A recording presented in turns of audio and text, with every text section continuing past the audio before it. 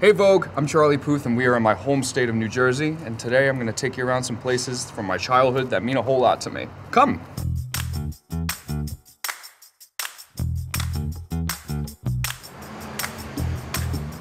Okay, so this looks completely different. I remember my first jazz concert here, I was so nervous, kind of like I am right now. I really hope this looks the same.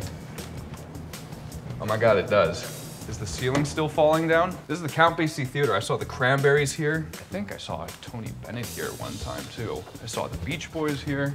Wow. Okay, so they fixed the ceiling. Same chairs though.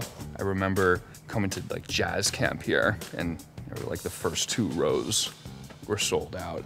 I was too afraid to sing in front of people, so I just played piano the entire time. And then to maybe like 10 years later come back and see a sold out crowd for my first show. That was a pretty good feeling. I first started coming here when I was, Dad, how old was I? 10. I remember my teacher said, if you have abnormally large hands, you're gonna be a fine piano player. I've always been very self-conscious with my hands ever since then because it's a strange thing to say to somebody, especially a 10-year-old. Um, but I guess I can reach the notes pretty, pretty well. He was a good teacher, just a weird thing to say. The stage is a lot smaller than I remember it being. This is a wonderful venue. Wonderful sound too. Really nice reverberation. My mom taught me piano first when I was four years old. Sorry, I'm eating Tic Tacs. Mm. My mom taught me piano when I was four years old, and I always would hear her play um, the same piece by Clementi. That was my alarm clock, just her waking up and playing the piano. So I had a natural inclination to just walk over to the piano and try and play it all the time. And I think that's how I developed the whole perfect pitch thing that I have. Follow me, is what I will say. Now we are leaving Red Bank, New Jersey. We are leaving the Count Basie Theater and we're going uptown to Harlem, 121st and Claremont, to Manhattan School of Music, where I started when I was 14 years old. I'll see you there.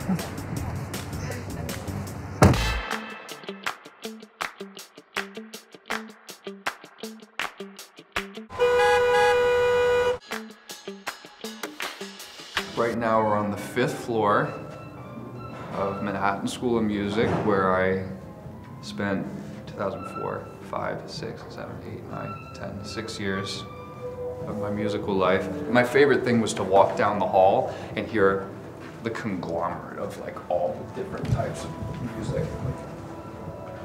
This was the classroom. Jeremy Fletcher was my teacher, and we there.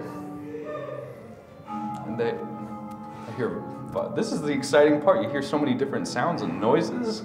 This was my first class at 11 a.m.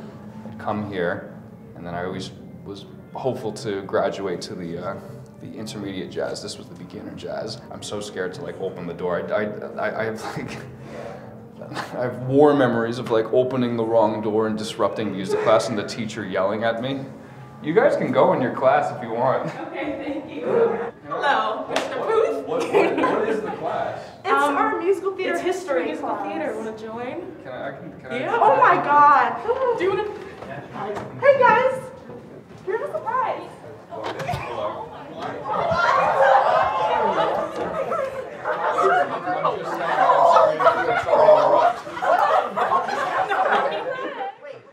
What are you guys learning? She's a beguiling beauty with outstanding dance technique, natural acting ability, and a powerful charisma. Her career skyrocketed. Joan McCracken was unable to sustain her success. Within a short time, she dropped out of the public eye and descended into an untimely and tragically early death. We're in Hell's Kitchen. We're at Berklee's newest studio. This is the uh, the song that my mom would play every morning. It's like a classical piece of music. And every morning I would hear same thing over and over again. And that's how, I think that's literally how the pitches got into, stuck into my head.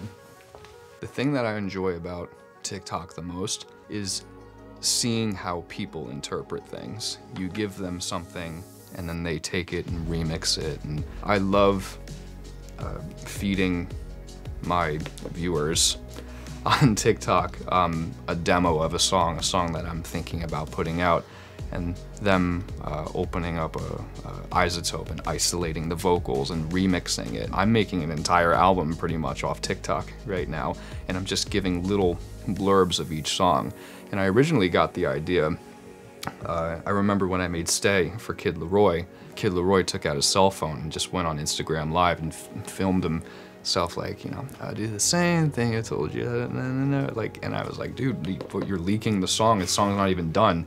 And he was like, trust me, people are gonna wanna hear this early on. So he's the first person I ever saw like leak a song that had just been literally birthed. What can I do with my brand to make my audience feel involved?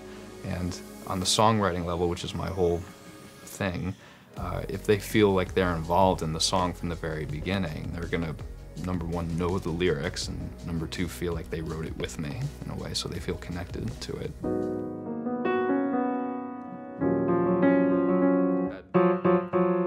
Ugly couple of notes if you put it together. And then you can like put a little bass note in it, and it's like, it's actually the first chord to Bad and Boujee by Migos. But when you add more, when you add more notes in between, you add the fifth. It's like, okay, now it's still kind of creepy, but like when you add the little colorful C sharp and the A flat, like the perfect for My hope is when I perform these songs, I, I and and I try to hide this as best I can when I'm on stage. I'm so used to being in here, perfecting and tuning every vocal and making sure that it sounds perfect, and I'm so worried that like my voice will fluctuate in pitch live, and I'm never happy with uh, how I perform. I hope that uh, you know these songs are in a little little bit of a lower key, a bit easier to digest melodically. It's not so Charlie Puth, ooh, over all over the place. I actually was here a couple of weeks ago with my record label, um, playing uh, my album for them, uh, which I was quite nervous about because I've never played them a full body of work before. I've always been expected to just deliver like one-off singles, so I, I never thought they would want to hear a complete body of work from me, so that was very exciting. They're seeing like the real side of me, which is a side they've never seen before. They've seen a very surface level, oh, he's a producer who puts out catchy music kind of thing. They never I, I, but at the same time, I never thought they cared about that. I never thought anybody cared about like what went on in my life, and I, I don't know. Now, for some reason, people do, which makes me happy. It makes explaining the music a little bit easier. I'm gonna call it Charlie, because I've never had a chance to. It's like a self-titled album, but I've never had a chance to put out music that is you know, in three, two, one, cliche sentence, but like is truly me and every song is like just my personality with some melody attached to it.